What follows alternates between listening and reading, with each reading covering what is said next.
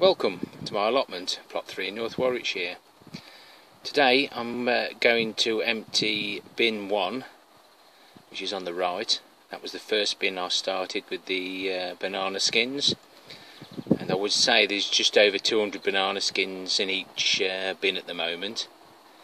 So I'll get these bins off, get the juices out of the three white tubs and we'll see what we've got and then we'll empty bin number one out, see what uh, 200 odd banana skins look like after, what, three months?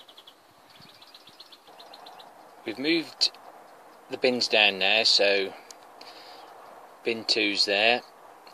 Bin three was the most productive, as you'd uh, well imagine with having the uh, fresh skins in. Bin two's been topped up with banana skins as it settles.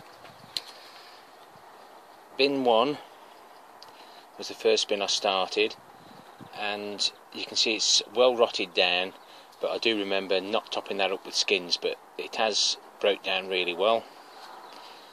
And we've got that much tea out of the both. Get that bottled up in a minute but uh, I'll empty this out and we'll have a look at it. These are the uh, the fresh skins. Just get the uh, on. Uh, blended those about a week ago, but I knew I was doing this uh, empty out, and you can see the juices at the bottom there, already coming out the banana skins, and this is the banana skins that have broke down. There's still plenty of juice in, in there. I'm going to spread them in the compost bin. Or do I spread it round the tomatoes?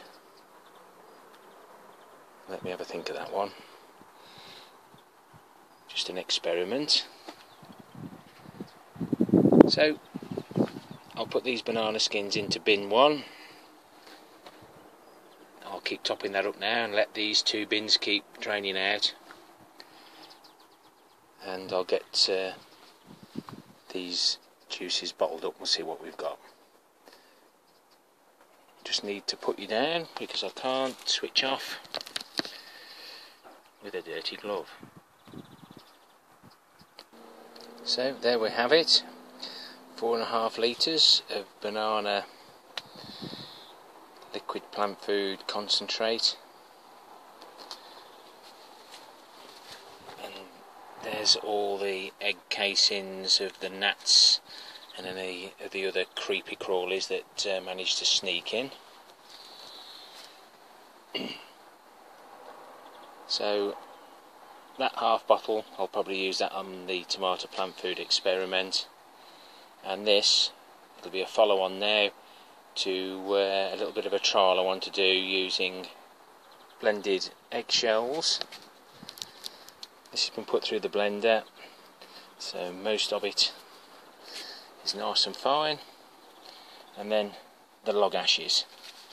And this is to see if we can prevent blossom end rot.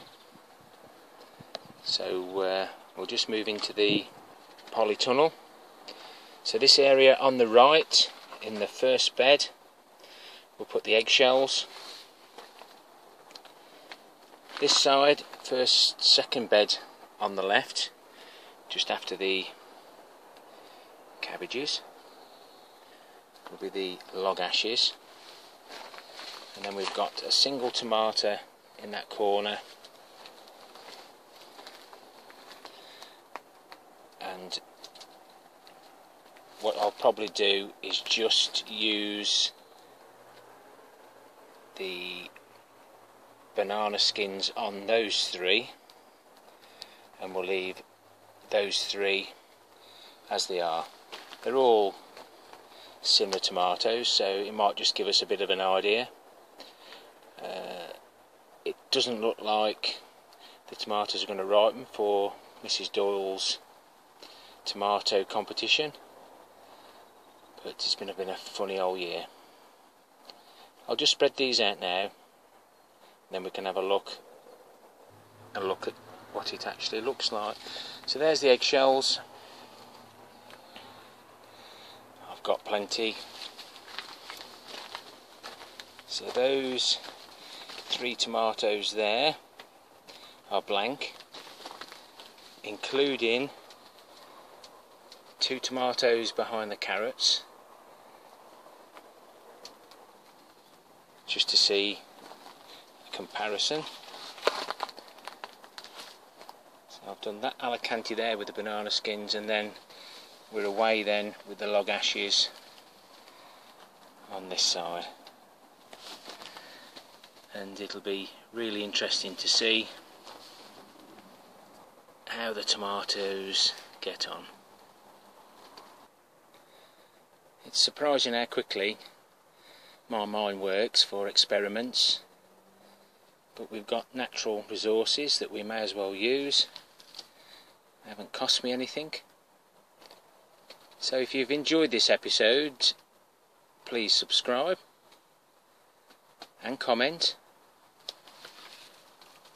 so that we can all learn from our experiences. Happy growing everyone and take care till next time.